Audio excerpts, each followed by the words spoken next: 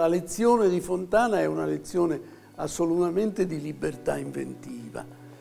e di genialità che ha sollecitato questa libertà.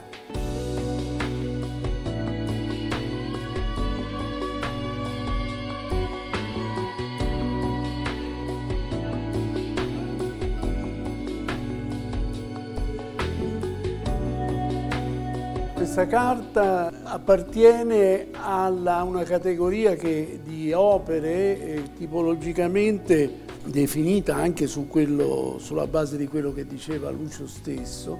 definita nel catalogo generale carte. Eh, ha una particolarità nel senso di essere una grande carta fissata su tela per, per una conservazione migliore, mentre in altre, quelle che poi hanno caratterizzato questo gruppo di opere, Fontana utilizzava delle carte telate industrialmente. Questo forse può spiegare anche una certa maggiore duttilità di questo tipo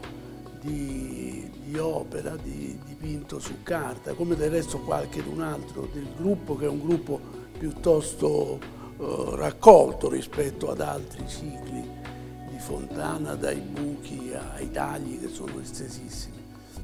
Diciamo che in questa corsività del segno, che è segno sulla carta, ma in qualche modo anche la incide, cominciano le, le, prime idee del, del tagliare, cioè della possibilità di creare uno spazio oltre, che già aveva intuito e realizzato con i buchi, ma di svilupparla in una maniera anche più clamorosa e più unica, perché poi i tagli saranno anche un solo taglio. Ecco, questo passaggio matura nella vicenda delle carte e direi che questa dedicata a Brooke del 59 è particolarmente vivace dal punto di vista scenico e questo ne sottolinea la qualità espressiva proprio perché è una specie di piccolo laboratorio sperimentale insomma, della